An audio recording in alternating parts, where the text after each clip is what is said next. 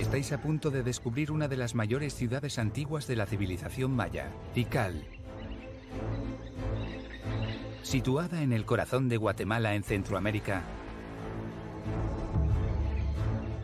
esta megápolis en plena selva ocupada durante más de un milenio estaba conformada por 12.000 edificaciones y su inmenso prestigio se impuso sobre más de 40 ciudades. La importancia de Tikal la podemos comparar con las grandes metrópolis que existen hoy en el mundo, como Londres, París, Nueva York, Shanghái. Entre los restos más antiguos de Tikal se encontraban los de la Acrópolis Norte. Cada rey quería dejar su huella, pero ¿cómo podían seguir superando a sus antepasados? Antes ya había una pirámide, pero ellos construyeron otra, Muchas de estas pirámides eran como muñecas rusas, pero con una estructura eterna.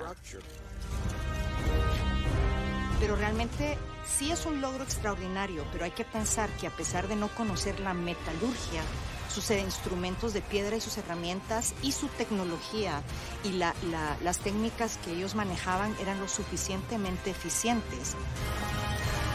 A partir de una plataforma sobre una amplia base rectangular, se construyeron compartimentos de piedras más o menos talladas, unidas por una argamasa de arena, cal y barro. Los mayas fascinados por las estrellas crearon en su honor el Mundo Perdido, un observatorio astronómico real. Y acuérdense que nada más a simple vista, porque no se conocían lentes de aumento y demás, e inclusive en, en arquitectura tienen elementos como Mundo Perdido que son marcadores de solsticios y equinoccios. Sabemos, por ejemplo, que predijeron eclipses de todo tipo con miles de años de antelación. La habilidad de los constructores mayas era asombrosa, a pesar de que no conocían la rueda o las herramientas de metal ni usaban animales para trabajar.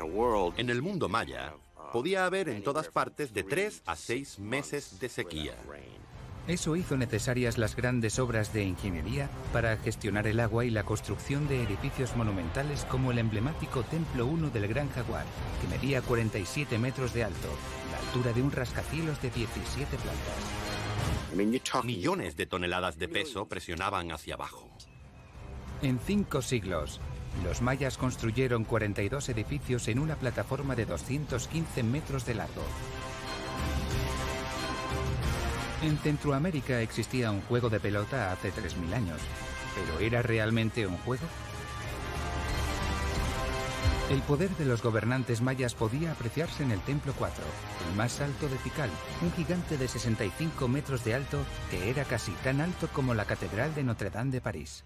Esta es la increíble Tikal, una invitación a descubrir el fascinante mundo de los antiguos mayas, como nunca lo habías visto.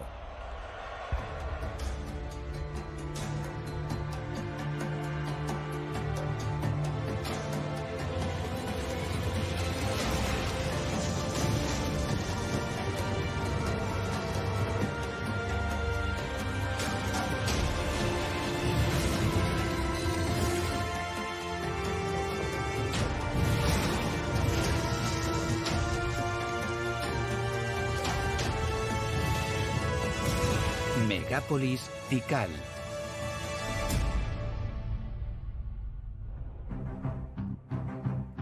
En el cruce de las dos Américas, la civilización maya se desarrolló en un área que abarcaba cuatro países de Centroamérica. Tikal se encontraba en Guatemala, en la región de las tierras bajas de Petén. La ciudad más cerca de Tikal era Flores, Situada en una isla en mitad del lago Petén, antiguamente tenía 25.000 habitantes.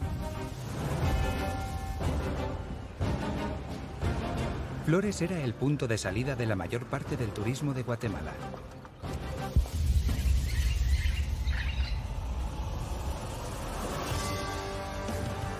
Era un recorrido que llevaba a la icónica Tikal, la mayor ciudad maya jamás construida que estaba en mitad de un inmenso parque nacional de 576 kilómetros cuadrados.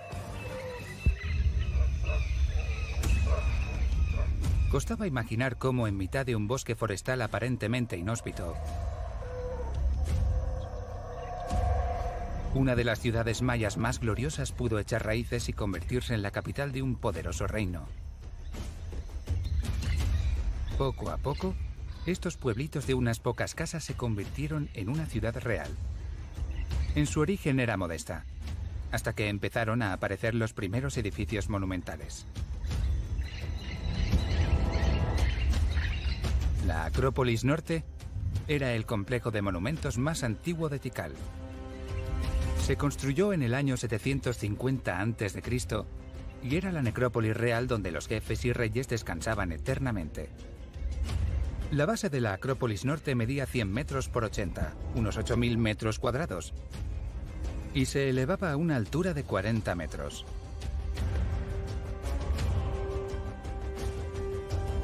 Se originó como un complejo de varias pirámides, cada una con un templo en la cima que se multiplicaron en poco tiempo. Lo más sorprendente es que estos monumentos se construyeron únicamente con manos humanas, que solo disponían de las herramientas más elementales. Los mayas no usaron ruedas, ni poleas, ni tampoco herramientas de metal o animales de carga, solo utilizaron herramientas de piedra. Al igual que toda la península de Yucatán, el subsuelo de Tikal era una enorme base de piedra caliza y eso conllevaba la gran ventaja de tener a mano las materias primas para construir. Ellos sabían qué piedras utilizar y, por ejemplo, en el área, en el área de, las tierras bajas. Entonces está claro que si tú golpeas una caliza con, con una piedra volcánica, la piedra volcánica va a ser capaz de romper la caliza. La gente siempre decía, no tenían ruedas, no usaban el metal, pero eso no importaba. En las llanuras de Mesopotamia los carros hubieran sido útiles, pero para andar por la selva eran del todo inútiles. Además, tener carreteras en el bosque tropical hubiera sido muy costoso. Por eso, no necesitaban esas herramientas. En la cima de cada pirámide había un templo dedicado al culto. Pero debajo, en el interior de las pirámides, se encontraban las tumbas reales. Estas pirámides eran monumentos funerarios que contenían las tumbas de miembros de las dinastías que se sucedían unos a otros como jefes de la ciudad. En el universo de los mayas, rendir culto a los antepasados era muy importante, y el gobernante que celebraba rituales ante las tumbas reales legitimaba la autoridad sobre sus súbditos. El rey era el intermediario sagrado entre la tierra y las fuerzas sobrenaturales. Las estelas que se podían ver a los pies de las pirámides así lo atestiguaban. Medían más de dos metros de alto y retrataban la vida de los reyes de Tikal. En ellas había esculpidos los mayores acontecimientos de sus reinados, las victorias, las bodas, las muertes. Pero ¿cómo llegaron exactamente estas estelas a ese lugar sagrado? Primero, los mayas cortaron bloques de piedra caliza de las minas del lugar. Cavaron trincheras con hachas de piedra que delimitaban los contornos. Después cavaron horizontalmente debajo de cada bloque para liberarlo. Esta estela medía 3 metros de largo por más de un metro de ancho y tenía un espesor de 45 centímetros. Debió de pesar más de una tonelada. Las estelas se esculpían solo una vez en el lugar, usando tijeras de sílex y mazos de madera. La orientación de las pirámides estaba alineada con los puntos cardinales. El norte correspondía al cielo, el sur al inframundo, la tierra de los muertos. el este al sol naciente, de la vida y el renacimiento, y el oeste a las puertas de la muerte. El sol y su recorrido que observaban desde el cielo era muy importante para ellos.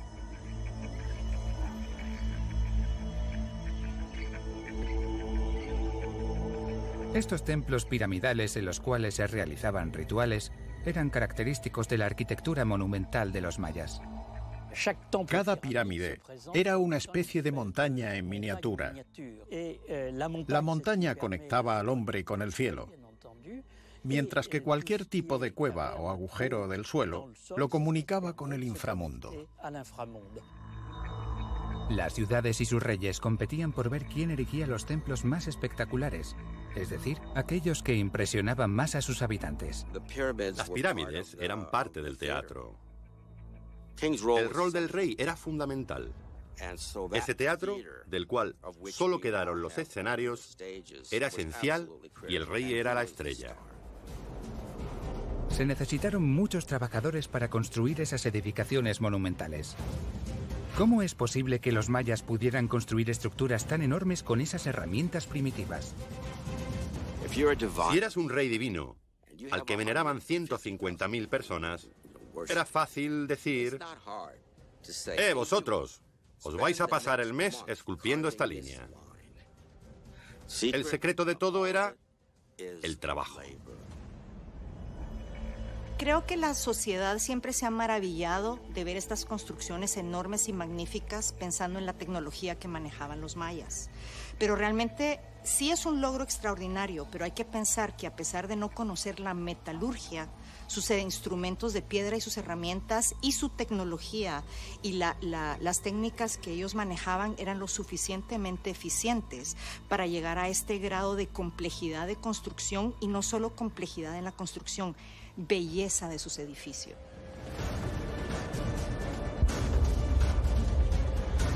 A partir de una plataforma sobre una amplia base rectangular, se construyeron compartimentos de piedras más o menos talladas, unidas por una argamasa de arena, cal y barro. Después estos compartimentos se rellenaban con grandes piedras, tierra y escombros que proporcionaban una gran estabilidad a la construcción. Eso cómo se logra teniendo, sabiendo la dureza de las piedras, sabiendo técnicas de corte, abrasión, todo este tipo de cosas que le permitieron llegar a desarrollar la arquitectura que nos maravilla a todos hoy en día. Las bases de las pirámides de Tikal se rellenaban con cientos de miles de piedras. Parecían estructuras enormes llenas y pesadas. El mismo proceso se repetía en cada planta de la pirámide, aunque a veces dejaban un espacio vacío en el medio que servía como cámara mortuoria. Todas las pirámides daban testimonio del poder de los reyes, pero las de Tikal eran especiales debido a su gran altura. Medían de 40 a 65 metros de alto y eran casi tan altas como la Catedral de Notre Dame de París. Cada rey quería dejar su huella, pero ¿cómo podían seguir superando a sus antepasados? Antes ya había una pirámide, pero ellos construyeron otra. Muchas de estas pirámides eran como muñecas rusas, pero con una estructura eterna.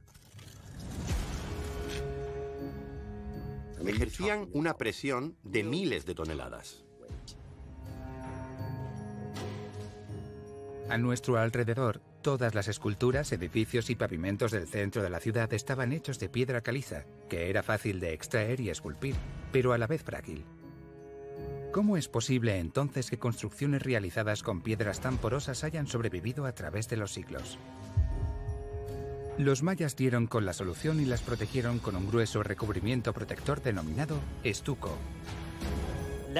El estucado tenía dos ventajas. En primer lugar, se podía pintar mucho más fácilmente en estuco que en piedra. Y en segundo lugar, ayudaba a prevenir la erosión de las piedras.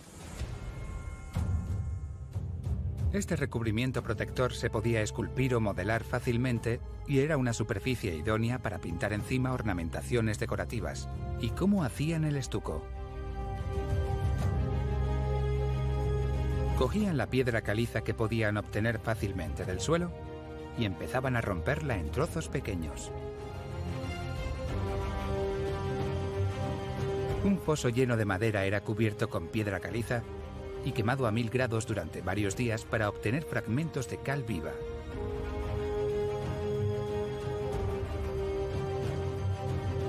La cal se mezclaba con agua y luego con arena muy fina para crear una pasta de estuco.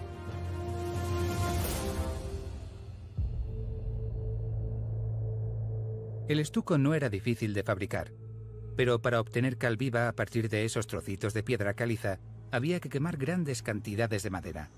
Necesitaban cortar árboles de 40 o 50 metros utilizando simples hachas de piedra.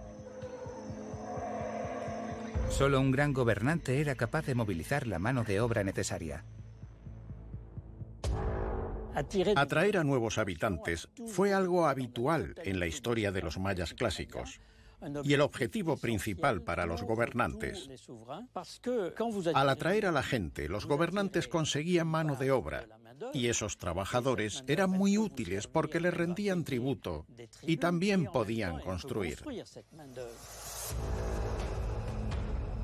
A principios de nuestra era había unas 10 ciudades mayas que competían entre ellas, y Tikal estaba decidida a destacar entre el resto. Sus pirámides fueron un centro de poder y ofrecieron un gran espectáculo. No era como un escenario de teatro, sino como un complejo. Los edificios individualmente no tenían ningún sentido, pero si los colocabas juntos, el resultado era impresionante. Estas pirámides formaban un centro ceremonial, un núcleo urbano en el que todos los habitantes se congregaban para presenciar los grandes rituales que unían a la comunidad con su soberano. Sabemos que bajaban esas enormes escaleras con las manos cubiertas de sangre después de realizar un sacrificio en las plantas superiores. Y que seguían descendiendo por esos escalones gigantescos. La gente se reunía en las plazas a los pies de las pirámides para presenciar los ritos y escuchar las predicciones del soberano. Pero la población maya era eminentemente agrícola y vivía en diferentes lugares. ¿Cómo sabían entonces cuándo reunirse en el centro de la ciudad? Lo veían en las estrellas. Los mayas tenían una concepción cíclica del tiempo, basada en la observación de las estrellas. Creían que el pasado, el presente y el futuro estaban vinculados y que solo los rituales que pretendían satisfacer a los dioses, celebrados en fechas específicas, podían predecir el futuro. La astronomía se convirtió en el fundamento de los calendarios adivinatorios que determinaban las fechas en que se debía acudir a los rituales. De hecho, los mayas tenían varios calendarios. Seguían fundamentalmente un calendario solar de 365 días, pero también disponían de un calendario que no estaba directamente relacionado con el Sol y que constaba de 260 días. Los mayas se interesaron por combinar estos dos calendarios. Pero los mayas realmente, para llegar a la precisión de calendario que lograron crear, tenían que tener conocimientos astronómicos increíbles. Eran unos apasionados de la astronomía y pronto crearon un centro sagrado para estudiar la trayectoria de las estrellas. Un conjunto de enormes pirámides míticas denominado el Mundo Perdido. Este conjunto estaba situado al sudoeste de la Acrópolis Norte y era el segundo núcleo de la antigua ciudad. Lo más intrigante era que en el centro del conjunto se alzaba una pirámide de 30 metros de alto con una base de 80 metros de ancho. En sus orígenes, estaba decorada con máscaras de estuco que representaban dos jaguares y mostraba tonos rojizos principalmente. El rojo era el color del este y del amanecer celebraba el nacimiento del sol y de la vida en sí misma.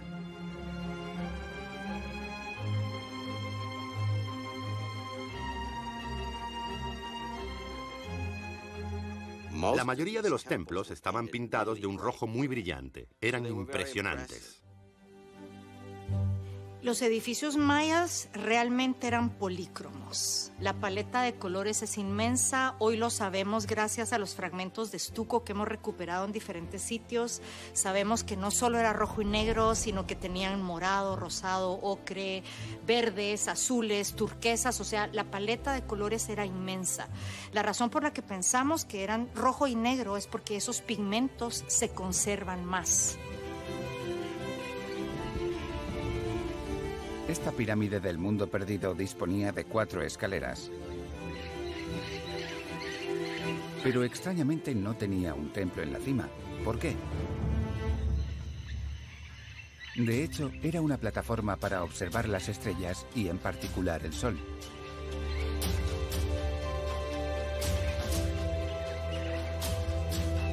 Al este se encontraba frente a tres pequeñas construcciones conectadas entre ellas y alineadas de norte a sur.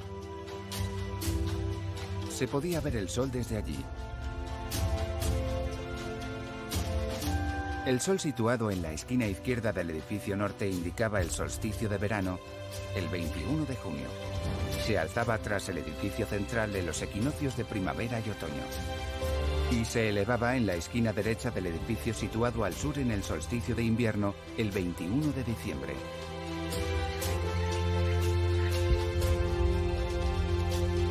Los sacerdotes mayas observaban el curso del Sol, de la Luna y de Venus.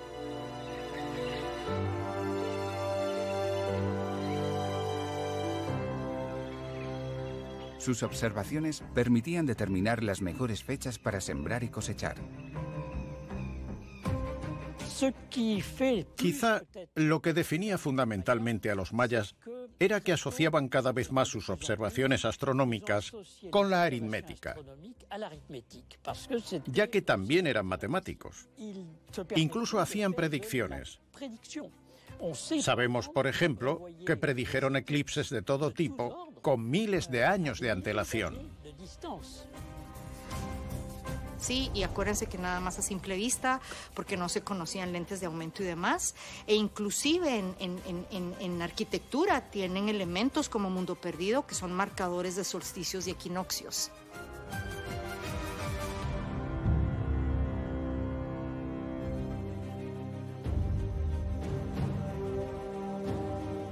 Desde los siglos III a IX, Tikal experimentó un desarrollo extraordinario.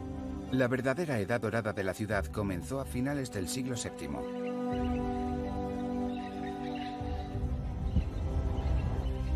En aquella época gobernaba a unos dos millones de habitantes y su influencia se extendía sobre docenas de ciudades, pueblos y aldeas.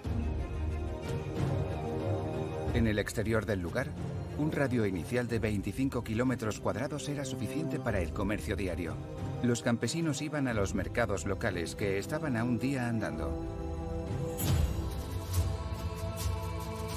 A lo largo de su historia, Tikal también desarrolló sus relaciones, especialmente las políticas, con ciudades lejanas, como Copán en Honduras, Caracol en Belice e incluso Teotihuacán, situada a mil kilómetros al oeste en México. El comienzo del año 378 supuso un importante punto de inflexión. Teotihuacán, que estaba a mil kilómetros de distancia y era considerada la metrópolis más grande de Centroamérica, multiplicó sus relaciones con poblaciones lejanas y puede que llegara incluso a invadir a Tikal. A finales del siglo IV, los contactos, interacciones e invasiones eran propios de Teotihuacán. Había que ver a Teotihuacán para conocer su importancia. Era una gran ciudad del centro de México.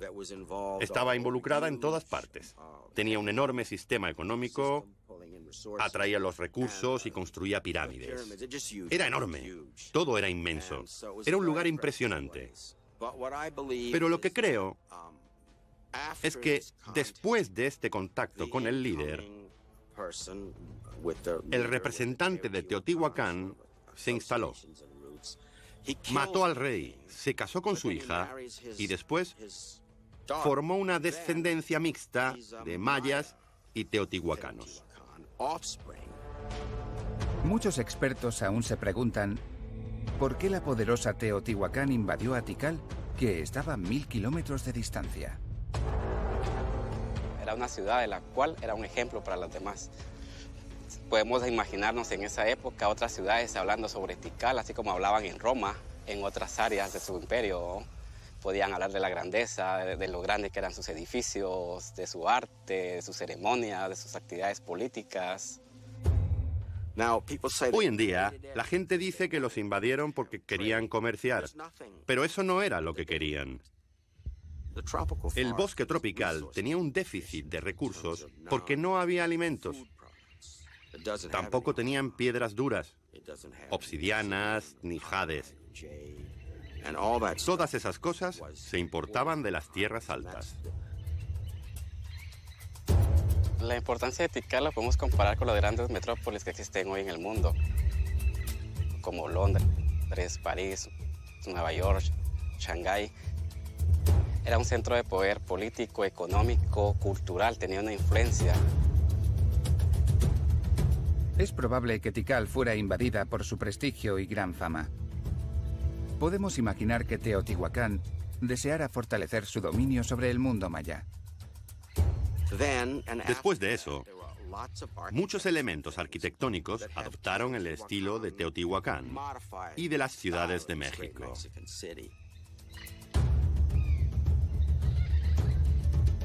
A partir de entonces, Tikal incorporó elementos culturales de los invasores y experimentó un mayor desarrollo gracias a esas influencias externas.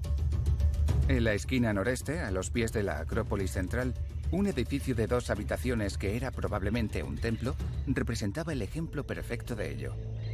Sobre todo porque se construyó después de la invasión. La plataforma sobre la que se alzaba reproducía las formas típicas de la arquitectura de Teotihuacán.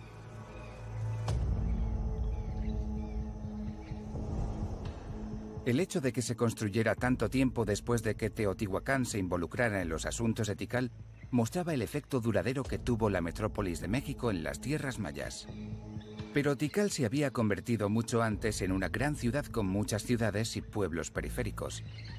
Además, los trabajadores emigrantes que vinieron a construir los monumentos contribuyeron al aumento de la población. Es la época de apogeo es donde vas a encontrar la arquitectura de mejor calidad, las pirámides más grandes, los estucos más gruesos, o sea, realmente en términos eh, tecnológicos el preclásico tardío es precioso. Tikal tenía una población de más de 60.000 habitantes y el corazón del lugar cubría una superficie de 16 kilómetros cuadrados. Estaba rodeada una zona intermedia, que comunicaba con una periferia rural de 63 kilómetros cuadrados que era residencial y agrícola a la vez. Sus victorias sobre las ciudades rivales incrementaron su poder.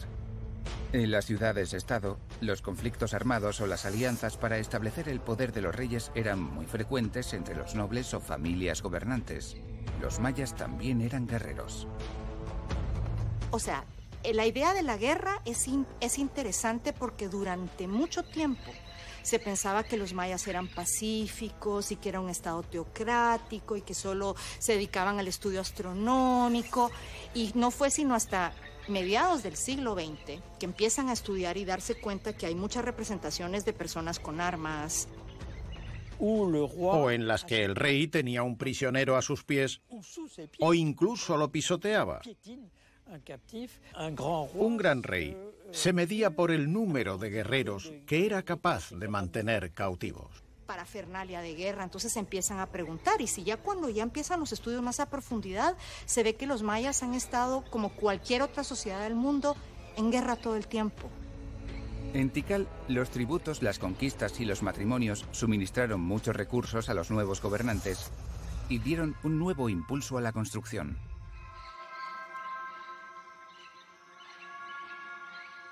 El Templo 1, conocido como el Gran Jaguar, era uno de los más bonitos y emblemáticos de Tikal y representaba un ejemplo perfecto del impulso de los grandes monumentos.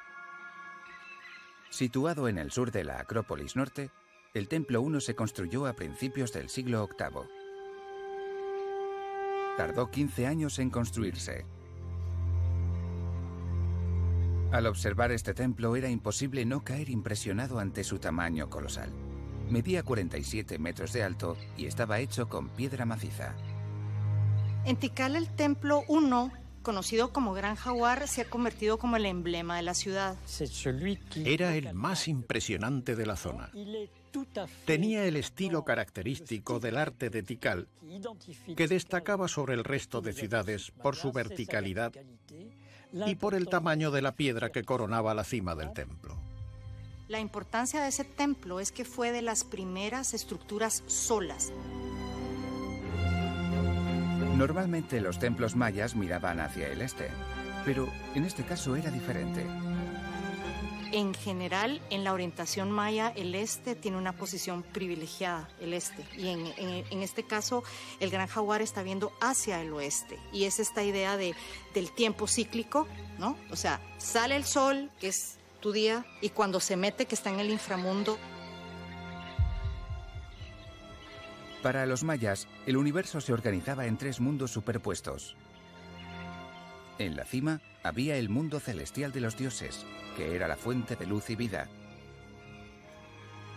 El centro era el mundo terrestre en el que vivían y debajo se encontraba el inframundo que era el reino de la oscuridad y la muerte.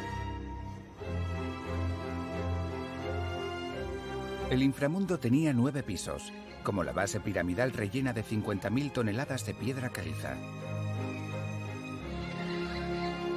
En la parte superior, el templo dedicado a un gran rey miraba hacia el atardecer y también hacía frente al templo de su mujer. En la cima del templo en sí había una corona de piedra o una crestería, que era un bloque decorativo de mampostería situado en el techo. Ahora no queda apenas nada, pero para hacerse una mejor idea del diseño del edificio pueden observarse estas imágenes generadas por ordenador. La crestería era un muro de 10 a 15 metros que se elevaba en el cielo desde la parte posterior del techo. Estaba pintada y esculpida. Ese tipo de cresta era característica en la decoración de los templos de Tikal. En la fachada podía observarse una imponente escultura del soberano en su trono. El Templo 1 no solo es de los primeros edificios individuales que hay, que te digo que es una característica de, la arquitectura del clásico temprano, entonces, eso creo que es una de las características que tiene todo esto de lo que se conoce como temprano, el basamento piramidal, el templo reducido y una gran crestería sólida en la parte superior. Esta pirámide era un monumento a la dinastía dedicado al gran rey Yasó Chankawin, el soberano número 26 de Tikal. Gracias a las estelas, sabemos que fue el más famoso de los 33 reyes que reinaron en Tikal. Shankawil fue el primer gran rey, un muy buen soberano. Todo lo que hacía era carismático. Se le daban muy bien los matrimonios, las alianzas, el baile, la guerra y cualquier cosa. Bajo su influencia, Tikal empezó a prosperar realmente. Su tumba se encontraba a 6 metros bajo tierra, a los pies de la pirámide, en una cripta. Desde la cima podía verse que la pirámide era un pedestal del templo dedicado al culto de los dioses y los ancestros. La vista desde la cima era espectacular y la multitud quedaba impresionada ante la imagen espectacular del soberano que celebraba los ritos allí acompañado, entre vapores de incienso por sacerdotes y músicos.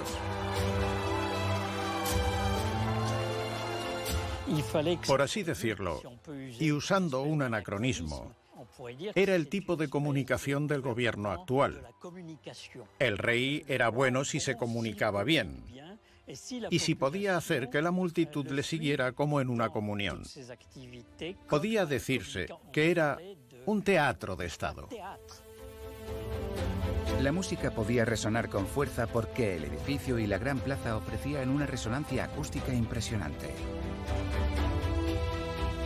El templo 1 per se, o sea, es decir, como edificio individual, no tiene propiedades acústicas propias. Lo que tiene propiedades acústicas es toda la plaza. Una de las grandezas de tener esas superficies de estuco era que se conseguía un efecto acústico sorprendente. De forma que cuando el rey hablaba desde el templo o desde abajo, todo el mundo podía oírle, como si tuviera un micrófono piensa también en danzas, en música, porque la música era muy importante de los rituales. Entonces, en este espacio, con esta, esta acústica fabulosa, ha de haber sido una experiencia increíble. El interior del templo constaba de tres habitaciones pequeñas. El jaguar que estaba representado era una figura muy presente en los mayas. Era el mayor depredador de la selva y representaba el poder político y de alguna forma en la sociedad maya se conoce que solo los, los gobernantes, altos jerarcas en la élite y los chamanes podían portar elementos de jaguar. Es decir, el, jaguar se consideraba un, un animal sagrado En el interior del edificio, la arquitectura era muy original y característica de todas las construcciones mayas. Tampoco hay que olvidar que lo único que tenían era herramientas de piedra. Para crear estancias dentro de los edificios de piedra, los mayas desarrollaron la técnica de la bóveda falsa o de la bóveda de voladizo. Construidas en la cima de los muros longitudinales, estaban hechas de diferentes capas de piedra que se superponían un poco, capa por capa, y que estaban unidas con una argamasa. Los dos lados de la bóveda se unían gradualmente y luego se cubrían con una losa que unía los dos lados. Al lado del templo 1 había una zona inusual, que en realidad era un estadio. Como mucha gente en Mesoamérica, los mayas jugaban a pelota, pero para ellos no era realmente un juego. El juego de pelota le llamamos juego pelota por analogía porque hoy día tenemos juegos con una pelota, pero realmente el famoso juego de pelota maya o juego de pelota mesoamericano es más un ritual que un juego. Es decir, se sabe por crónicas coloniales que en algunos lados se hacían apuestas, a ver quién ganaba, quién perdía pero eh, sabemos muy poco acerca de las reglas del juego, pero realmente era, era un ritual que de alguna forma la pelota representaba el sol y la idea era mantener al sol en movimiento. Políticamente, parece ser que solo los lugares que eran capitales tenían una cancha para jugar. De hecho, era un emblema del poder de la ciudad. Sabemos por las inscripciones que en algunas ocasiones se invitaba a los juegos de pelota a todo tipo de dignatarios. Se pretendía impresionarlos, por supuesto, o resolver conflictos. El campo se dividía en dos para situar el día frente a la noche. Los dos equipos se lanzaban una pelota de gomadura de 15 a 20 centímetros y que pesaba unos 3 kilos. Parece ser que la pelota no podía tocar nunca el suelo y que para devolverla no podías usar el pie, las manos o la cabeza. Por eso jugaban con las caderas, las rodillas, los codos y los hombros, delante de una audiencia que se sentaba en las plataformas laterales.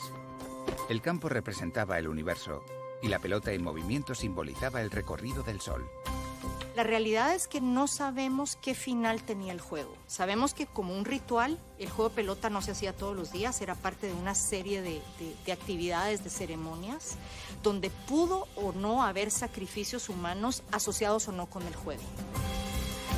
Dicho esto, el baño de sangre, especialmente de los jefes y por autosacrificio, era una práctica importante que aseguraba la continuidad del mundo. Para los gobernantes, el ritual era un deber que solía hacerse en público. Su otro deber más importante era solucionar los problemas de sequía. En una zona en la que no había grandes ríos y sin tener capa freática, ¿cómo podían abastecer de agua a sus miles de habitantes? Los amplios pantanos que había al este y oeste del lugar debieron atraer a los primeros ocupantes de Tikal. Su gestión del agua y de los humedales era muy ingeniosa y eficiente.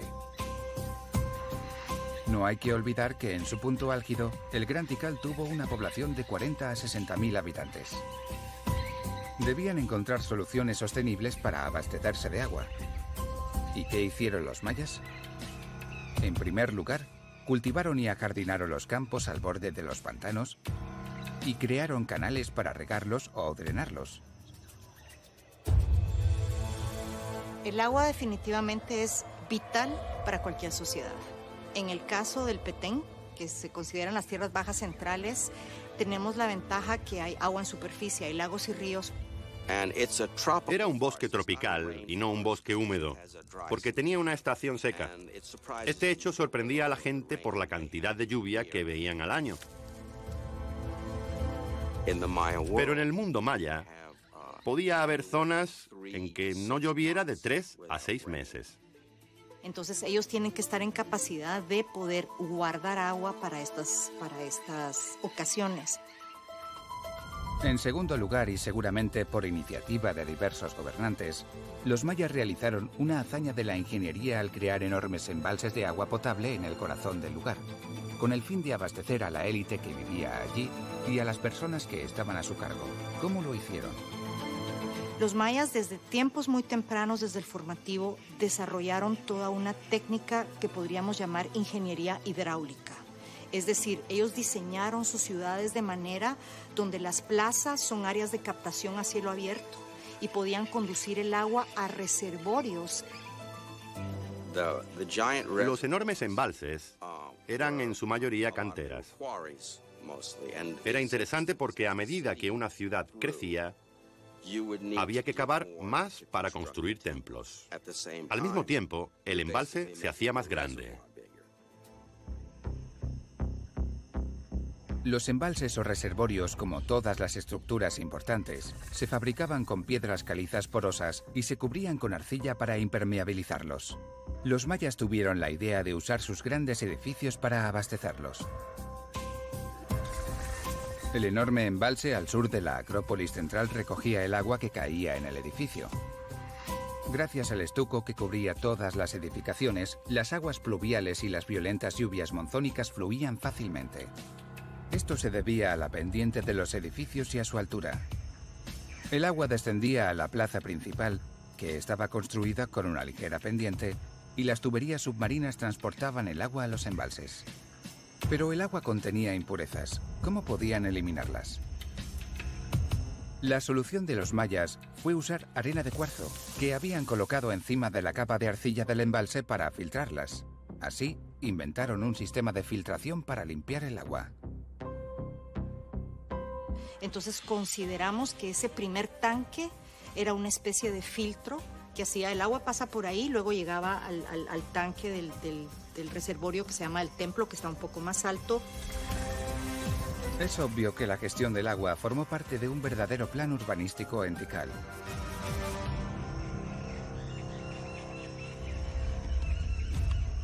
Este plan también se revelaba en los suntuosos palacios del área residencial cercanos a la Acrópolis Central. En cinco siglos, los mayas construyeron allí 42 edificios sobre una plataforma que alcanzaba una longitud de 215 metros. La élite y los centros administrativos utilizaban estos palacios como residencia. Se trataba de áreas residenciales, claro, de residencias de una gran variedad de personas. También eran zonas de recepción o de reunión.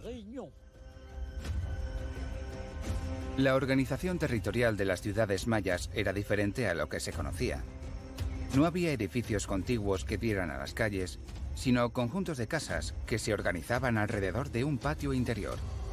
Este edificio complejo situado al este de la Acrópolis Central servía como residencia de nobles y reyes. Y estando a solo 100 metros del centro ceremonial, debía ser el hogar de alguien importante.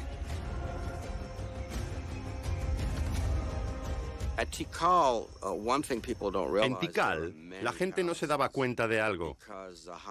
Había tantos palacios porque pertenecían a la alta nobleza. Solo se veía una pequeña parte del lugar. Los nobles pasaban mucho tiempo bajo sus enormes toldos. Usaban almohadas y cojines para estar cómodos. Por la noche hacía frío en la selva, como en los castillos de Europa. Y se estaba muy incómodo. Por suerte, disponían de grandes braseros que hacían que la noche fuera más soportable. Las plantas de estos hogares acomodados estaban cubiertas con estuco, aunque este no tenía el aspecto grisáceo de piedra caliza que se ve hoy en día. Gracias a la reconstrucción de imágenes generadas por ordenador, podemos echar un vistazo al Palacio Mahler.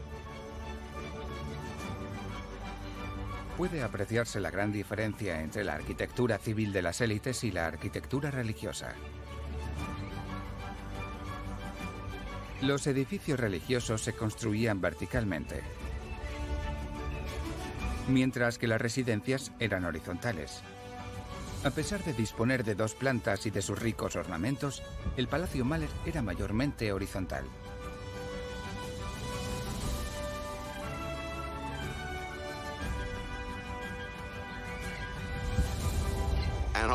También, otro de los aspectos que me fascina es que se sentaban en ese gran trono mientras salía incienso y humo, y que además había música impresionante, entre otras cosas. Era como un escenario. Todo era teatro.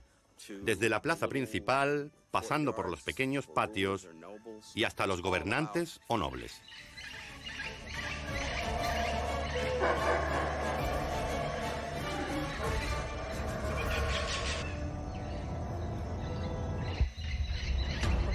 Ahora vamos a descubrir la mayor pirámide de Tikal. Un gigante de más de 60 metros de altura que pesaba miles de toneladas. El Templo 4. Situado a 600 metros al oeste de la plaza principal, el majestuoso Templo 4 de Tikal es la estructura precolombina más alta de las Américas que aún sigue en pie. Era un gigante que medía 65 metros de altura y que era casi tan alto como la Catedral de Notre Dame de París. Esta pirámide era sin duda un monumento funerario porque reunía las mismas características que el resto. Se estima que los materiales de construcción necesarios para edificar esta pirámide y su plataforma alcanzaron unas cifras de vértigo, 190.000 metros cúbicos. Y todo el peso recayó en las espaldas de los trabajadores que se contaban por cientos. En la cima del Templo 4, un panorama suntuoso del lugar premiaba a los que ascendían a la cima con esfuerzo. Mirar más allá de la cubierta forestal era como estar en la cima del mundo. La cresta sola medía casi 13 metros de alto. En el interior, las aberturas entre las tres habitaciones contiguas estaban cubiertas con preciosos dinteles de madera tallada. Las habitaciones eran estrechas y los muros enormes. Colocar los dinteles en el lugar adecuado no debió ser fácil, porque la madera de níspero de que estaban hechos pesaba más de una tonelada por metro cúbico. Los hombres que los llevaban allí arriba seguro que sufrieron mucho, porque cada dintel de madera medía más de dos metros de alto. Además de su belleza, estos paneles tenían secretos por revelar. Gracias a las inscripciones talladas, se ha podido saber con exactitud cuándo se construyó el Templo 4, en el año 741 después de Cristo. En el siglo VIII, la ciudad aumentó su densidad de población. Llegaron tantos nuevos ocupantes que los soberanos construían constantemente nuevas edificaciones que eran de las más grandes que se habían visto en la ciudad. Mucho de lo que vemos hoy en día se remonta a esa época.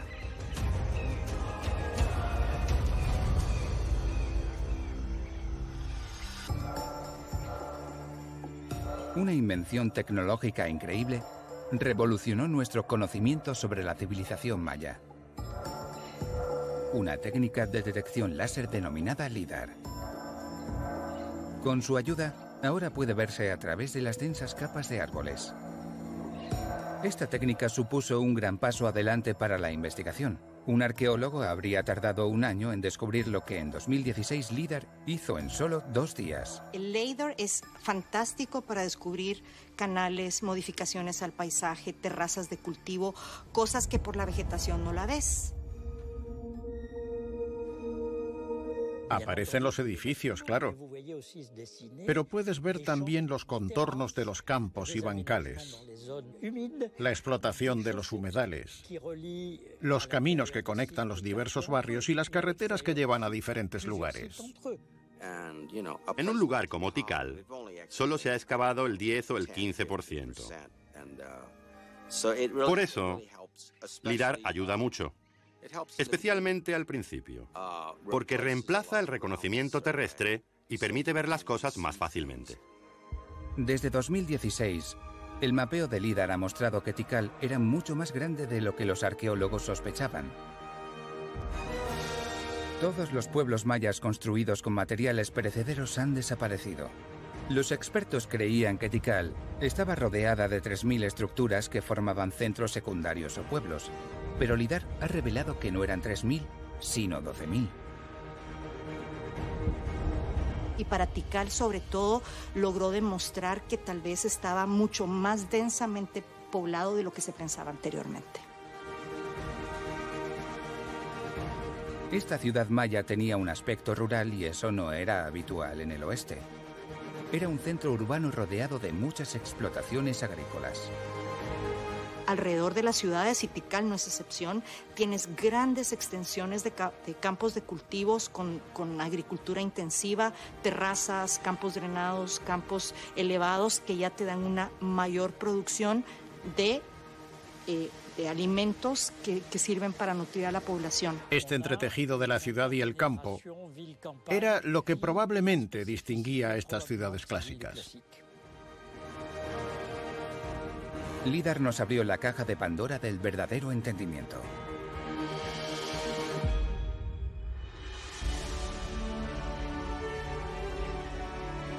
Tikal pudo haber desaparecido en las profundidades de la selva, pero el mundo maya no se desvaneció.